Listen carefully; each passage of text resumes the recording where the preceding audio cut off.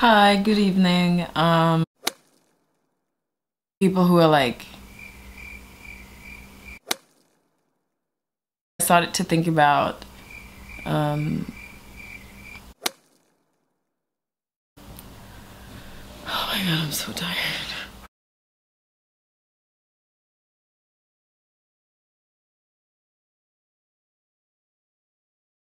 I'm struggling to form sentences. So I'm gonna read um, a short story that I really like called The Uncle by Kathleen Collins. Um, I had an uncle who cried himself to sleep. Yes, it's quite a true story and it ended badly. That is to say, one night he cried himself to death. He was close to 40, a former athlete of Olympic stature. In my father's house, there are still gold trophies received while he was in England for the Olympics of some year. He was quite handsome, Negro, but a real double for Marlon Brando. A story runs through my family that one day on a street in Philadelphia, my uncle and Marlon Brando passed each other and stopped, each stunned by the resemblance. He was quite fair anyway, a light brown, but with the same brooding Brando-esque face, the pouty jowl around the cheeks and mouth, the disappointed eyes, moody and restless.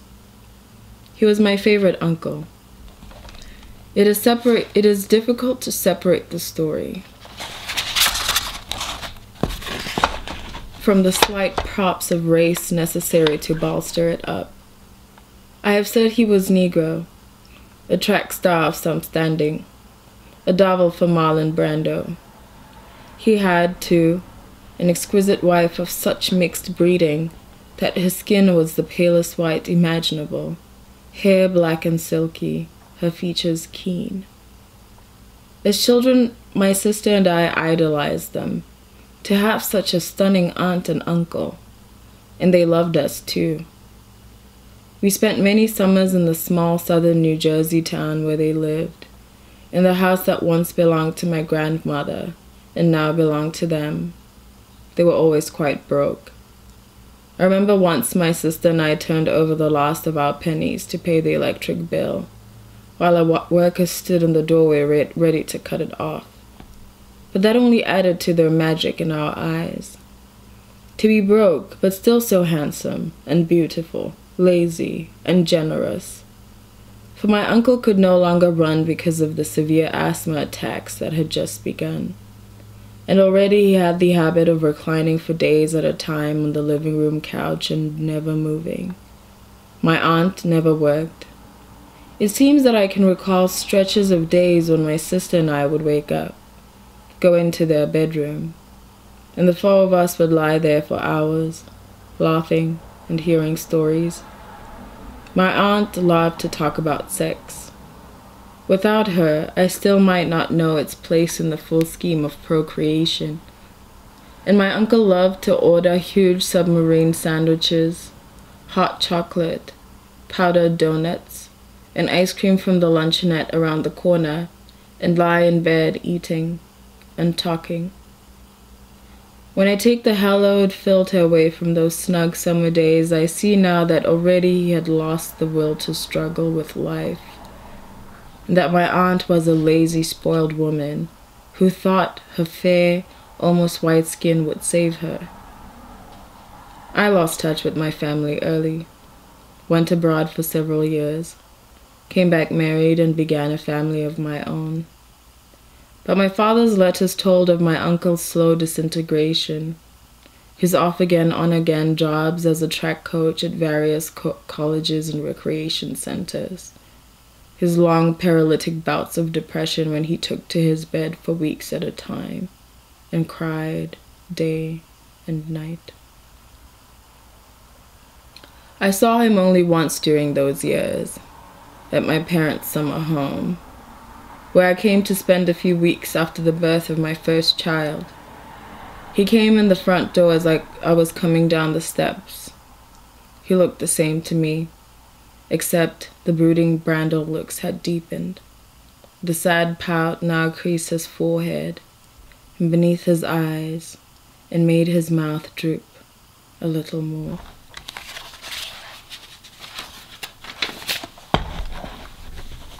But I was fascinated by this deepening, perhaps because I was still young enough to be attracted to sorrow. Then a strange thing happened. In the middle of the night, he woke me up, shook me awake with his violent crying and sobbing, and begged me to come downstairs and talk with him. I did. We sat up the rest of the night, and he cried with only slight coherent moments in between when he would mumble about my aunt, how she had turned out to be stupid, lazy, no real help to him. How he had never amounted to anything, never been able to count on anyone. Oh, how he would cry, give in to his crying, allow it full possession of his being as if life were a vast well of tears, and one must cry to be at the center of it. My father came down, awakened by us, angry and furious at his brother for putting me through such an ordeal.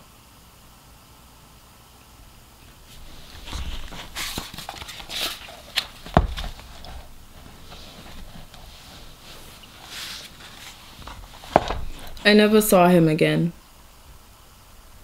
I never saw him again but I was having dinner with my parents when the phone call came that told of his death. My father was badly shaken. It was the first of his seven brothers and sisters to die.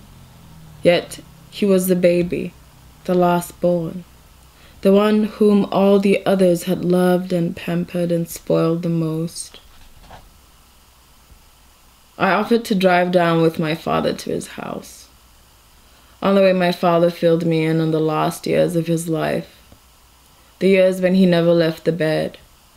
How night after night he kept everyone awake. For somehow in those years he had managed to produce three now almost grown children. With his laments, his great heart-rending sobbing that went on hour after relentless hour, until the morning when he would fall asleep and sleep the day away only to awaken again at night and begin this vigilant lamentation. His children had grown up inside the sorrow. His brothers and sisters would come time and time again and try to coax him back into life, stand at the bottom of the steps and beg him to come as far as the living room, bring succulent meals and plead with him to come down and share them promised to find him work as the head track coach at some prestigious university. But he kept to his bed, his, mourn, his mournful, inverted existence, cried in his pillow until death took him away. My aunt opened the door. With the years, she'd kept all her beauty except around the eyes. The washed out eyes of a woman who has put up with too much. The house was much as I remembered it. The living room couch where I would watch him stretch out his huge submarine sandwiches and powdered donuts. The dining room, which now held only near white women. Older variations of my aunt sitting together, sipping sherry and whispering. I went upstairs to his bedroom. The wild old fashioned bed where he'd lived dominated the room stood there like a monument to his perverse pursuit of humiliation and sorrow. It was surely perverse, surely bound to the color of his skin and its bastard possibilities.